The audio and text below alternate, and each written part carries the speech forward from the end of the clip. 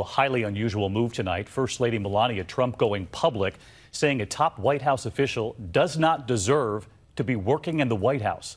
ABC's chief White House correspondent Jonathan Karl tonight. First Lady Melania Trump asserting herself like never before in the West Wing, today publicly called for Deputy National Security Advisor Mira Ricardel to be fired. It is the position of the office of the First Lady that she no longer deserves the honor of serving in this White House, Mrs. Trump's spokeswoman said in a statement. That came less than an hour after Ricardel was seen smiling right over the president's shoulder at a West Wing event. White House sources tell ABC News the First Lady became irritated with Ricardel in the planning of her trip to Africa last month. Mrs. Trump felt she had treated her staff disrespectfully.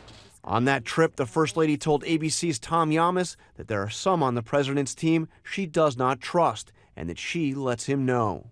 It's very difficult sometimes because I'm so busy with my, my office, I don't get involved with West Wing. Do you think there's still people there that he can't trust?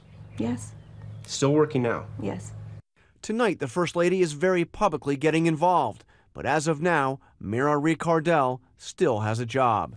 Jon Karl with us tonight live from the White House. And Jon, in the meantime, you also have reporting tonight about other possible departures from the administration.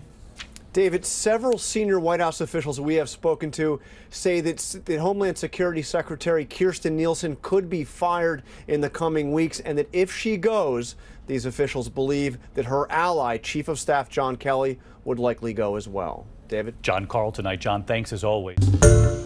Hi, everyone. George Stephanopoulos here. Thanks for checking out the ABC News YouTube channel. If you'd like to get more videos, show highlights, and watch live event coverage, click on the right over here to subscribe to our channel. And don't forget to download the ABC News app for breaking news alerts. Thanks for watching.